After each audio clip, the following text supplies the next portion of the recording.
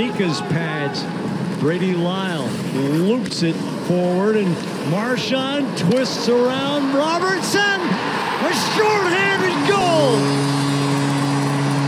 That guy can take the rest of the preseason off. The all-time leader in Bruins short-handed goals. Shows he's back in form.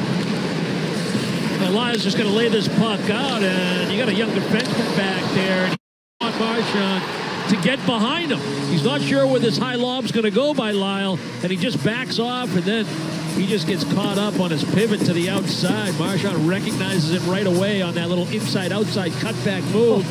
And the minute he knows he has a chance again to take this puck to the net, Georgiev deep in his goal, and if you're a forward,